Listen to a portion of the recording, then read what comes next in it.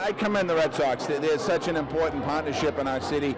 Uh, they give back every single year. I mean, this is uh, incredible giving all the kids in the city of Boston a Red Sox hat, but really they- they're just a great corporate partner. I mean, when you call them for whatever it is, events, whether it's at the ballpark or in the community, they're always there. And, and uh, Linda Henry and Sam Kennedy are with us today. I want to thank them. I mean, um, you know, they're more than a baseball team in our city. They're, they're, they're part of the fabric of our city, so I really appreciate all they do for us. We had a chance to kick off the 2017 Red Sox season with a hat distribution, and it's so rewarding because if we do not connect with this next generation of kids as an industry, we'll be in trouble. So we're all in this together, trying to bring the Red Sox uh, out into the community together.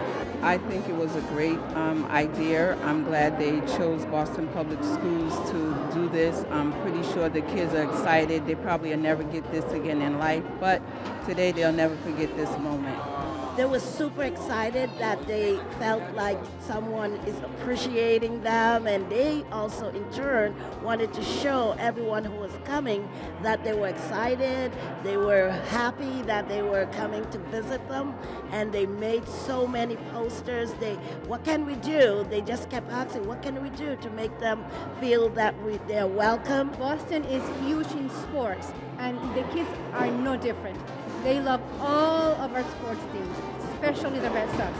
And to know that the Red Sox are coming here with hats for each one of them, you have no idea the excitement in this building. For a whole week, they were decorating, they were making posters, they were talking about it. We could not tame them down. They were so excited. This is huge for our kids.